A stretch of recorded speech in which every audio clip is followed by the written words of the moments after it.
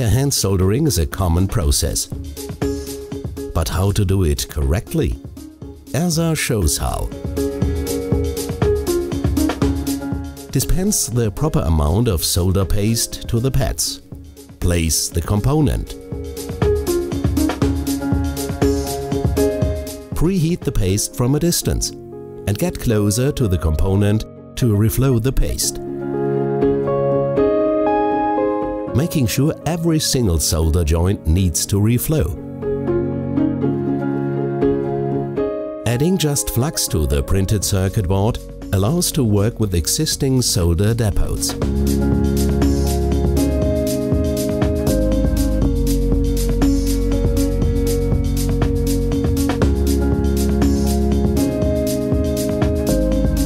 Adjust the airflow towards 2 liters per minute for small components.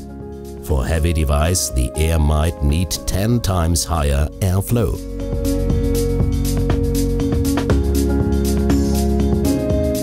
To desolder, adjust airflow and air temperature to the thermal demand of the board. Lift the component with a tweezer when the solder becomes molten. You can avoid hotspots by constantly moving the nozzle.